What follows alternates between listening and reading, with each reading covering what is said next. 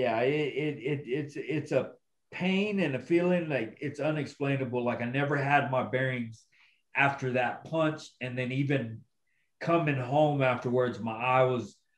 I, I so I lost a little bit of pressure in my eyeball. They had to numb it a uh, month and a half later, numb it, stick me in a dark room for four and a half hours for the pressure to come back into the eyeball to make it normal again.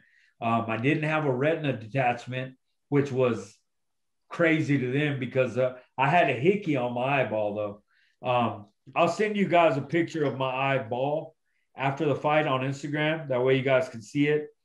It's like for reals, I had a hickey on my eyeball. Like it smushed, smushed the eye to the point where it had um like a bruising. Out, out of that eye, I could see spots of red so that was the blood vessels in the eye that were mushed together, and the reflection from my eyeball would come out. And um, I didn't know if I was ever going to see normally for wow. two months after that fight.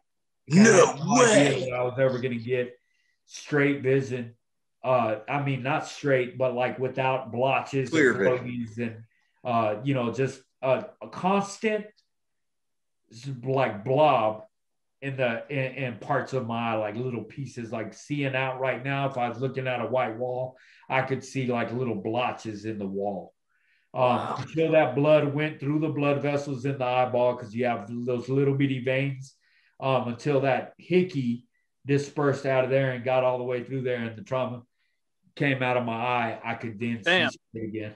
So it was wow. it was uh, it was really scary and it was it was odd, but I knew uh, so mind you, two months after that fight, I'm thinking, I don't know if I'm ever going to see without these blotches in my eye.